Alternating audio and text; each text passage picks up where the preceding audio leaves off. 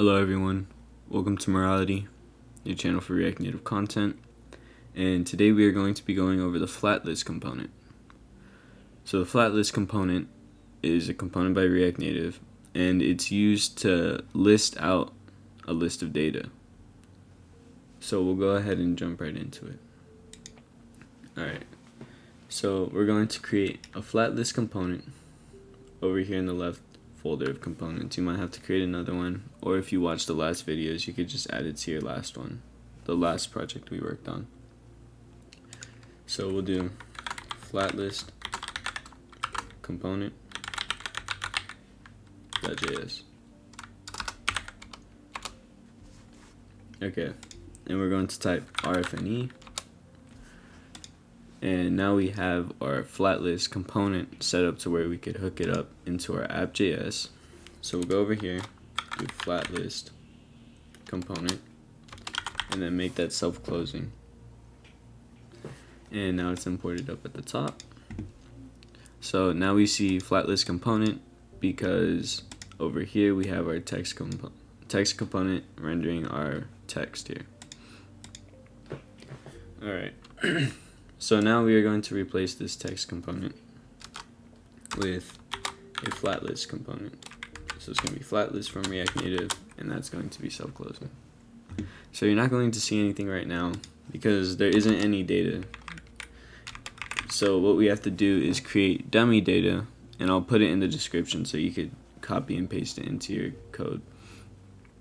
But basically what we'll do is go right above here and do const data equals an array. And this array is going to have a set of objects. And there's going to be three of these, but we'll just add one and then copy it down. So it's going to have an ID, so we can use the key extractor prop from flat list so it could tell the difference between each list component. And what we're going to have is just an ID of one. And then we're going to have a title and that's going to be let's just say first item and this is bugging out because there isn't a comma so this is our first object that we are going to render. And you could just hold shift, alt, and the down arrow key and copy it multiple times. And then we'll just change this. You gotta change the ID or else it's gonna um, be the same component, which we don't want that. And then we'll change this to second and third. Okay, so now that we have our dummy data, we can go down into our flat list over here. And there's a prop called data, which we want to set to our variable up here, data. And now we are going to add a render item. So this render item is going to like render each component how we like it to. So what we'll do is go right above here, right below the flat list component const, and we're going to do const render item. And this is going to be an arrow, fun arrow function with destructured item. So we can pull each property of these objects up here and then we're going to arrow function and curly braces. So now we're going to create a thing called item. And this it's going to be a component. So we're going to say let's create it first. So let's go up here right below our dummy data and do const item equals destructured and we're going to have pulled the title from up here. And we're going to use this title to display the title onto the list. So it's going to be like three cards. And it's going to have each title uh, listed onto it. So now what we're going to do is create a view. View. And a text component.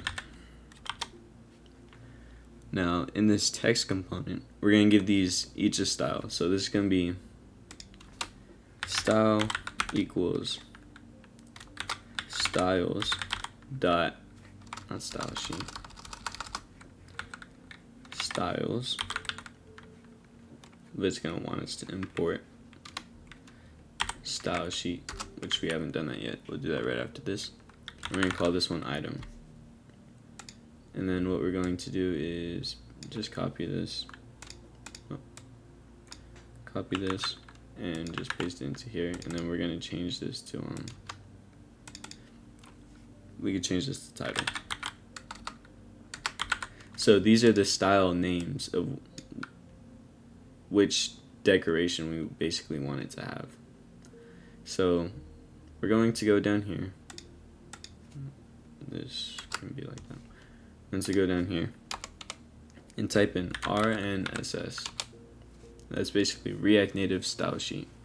And you're going to want to click after style sheet, hold control space, and click the second one, or if it shows up as the first one, then do that one.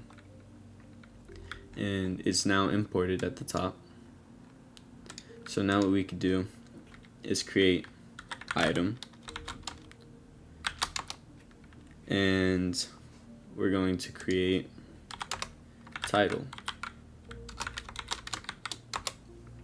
So now that we have both of our uh, decorations, we're just going to add a third one called container so that we can have it for our main view so that flex and stuff like that so it takes up the whole screen.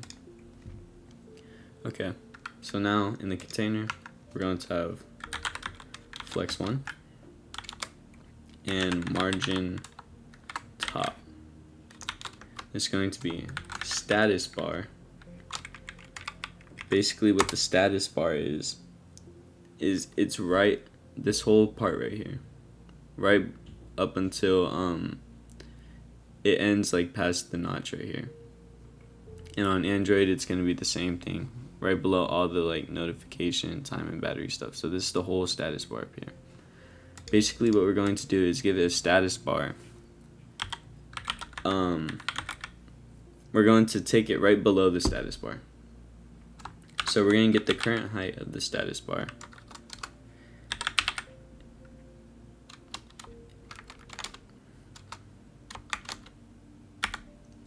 To get the current height of the status bar and then bring it down.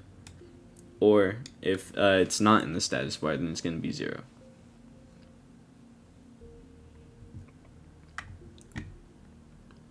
Okay, so now we're going to add one for item, and this is going to be background color, which is going to be like a, a light, a darker white. So it's going to be like a F1, F1, F1, so that you could like differentiate it from white. Okay, now we're going to have a padding all around it of 20 and a margin vertical of 8 and then for title we're going to have font size of 32 okay so now we can go and assign each one of these. Oh wait, we already did.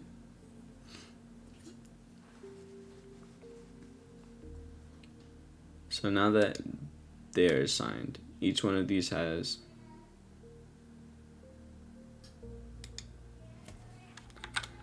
So now that they're assigned, we're gonna add title into here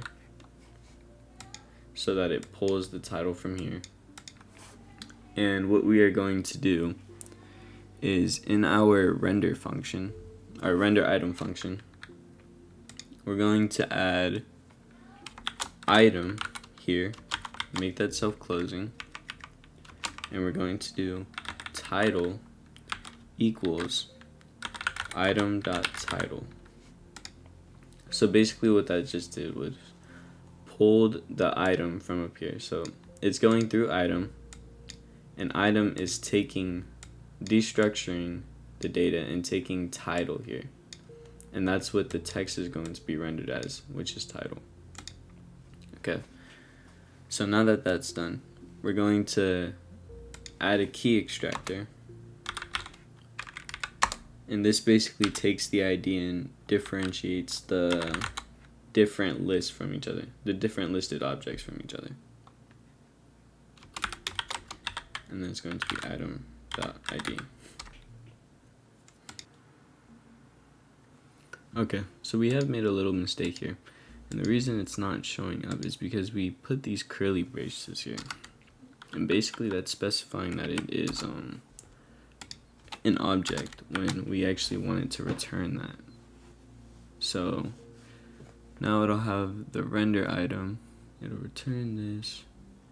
And then up here, this is also going to be the parentheses.